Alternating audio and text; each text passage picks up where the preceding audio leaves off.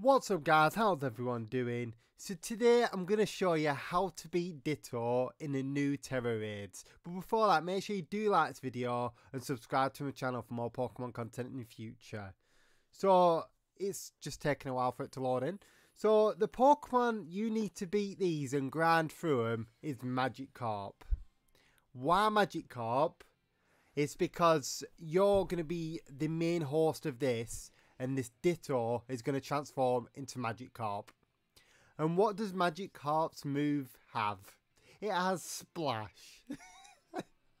this is the best grinding technique of all time. So as you can see, it's got Splash. It cannot do nothing. Look how it's so easy to beat this and grind off it. So I just want to say, if anyone else has done this, I apologise. I'm not copying off anyone, but this is absolutely hilarious.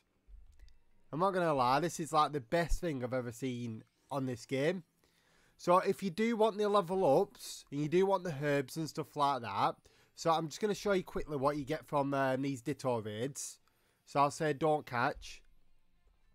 So as you can see, you can literally grind out Candy Large, Candy XL Large. It's everything. And it's a 5 star, so it could possibly drop herbs.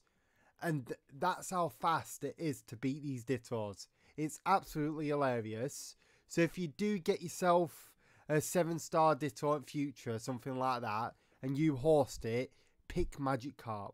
This is the best way to grind it. So if you have enjoyed this video as much as I have, please make sure you do like and subscribe for more Pokemon content in the future. Stay safe and have a good night guys.